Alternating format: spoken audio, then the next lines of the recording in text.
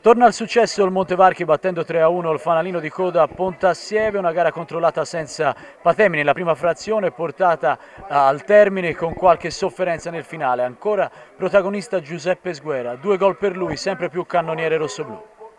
Un po' per necessità, un po' per scelta, Gianni Picchioni cambia molto nella formazione iniziale rispetto alle ultime uscite. Priva di Mori ed Ezechielli squalificati e Pellegrino infortunato, l'Aquila si schiera con un 4-3-3 classico con Bartoli al centro della difesa, Raspanti sull'out di sinistra.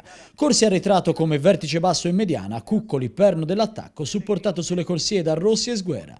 Prima panchina stagionale invece per Brocci e Renzi. Nel Pontassieve, ultimo della classe, spicca la presenza del figlio dell'ex tecnico aquilotto Marco Brachi, presente sugli spalti del Brilliperi.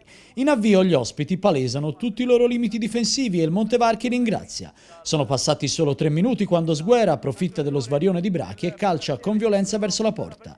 Manzini è tutt'altro che impeccabile e l'Aquila si porta subito in vantaggio. Passano altri tre minuti e il Pontassieve sprofonda. Combinazione tra giovanissimi, il classe 97 Raspanti Crossa e il classe 96 Mannella di testa sembra già mettere la parola fine sull'incontro, segnando il suo primo gol tra i grandi.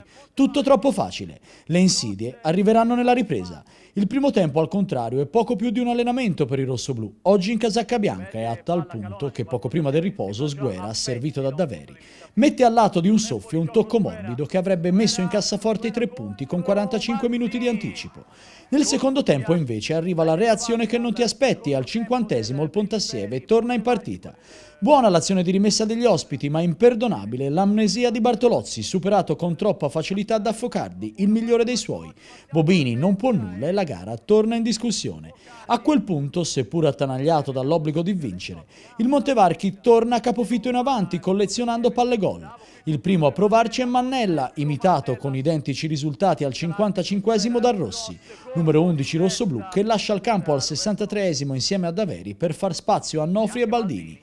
Come a Subiano, l'ex Ambra ha subito il pallone giusto per entrare nel tabellino dei marcatori. La sua conclusione, però, risulta priva di precisione e soprattutto priva di coraggio.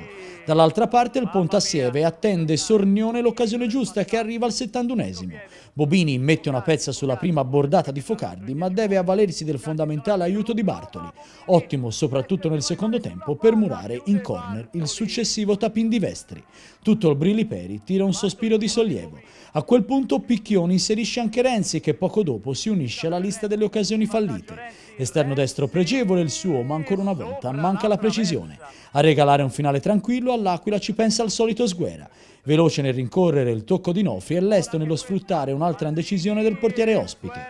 Nella foga con cui il capocannoniere rossoblù ribadisce la palla in rete, c'è tutta la tensione della complicata settimana post-Subiano. Per Sguera già 5 i centri in campionato, tutti tra le mura amiche.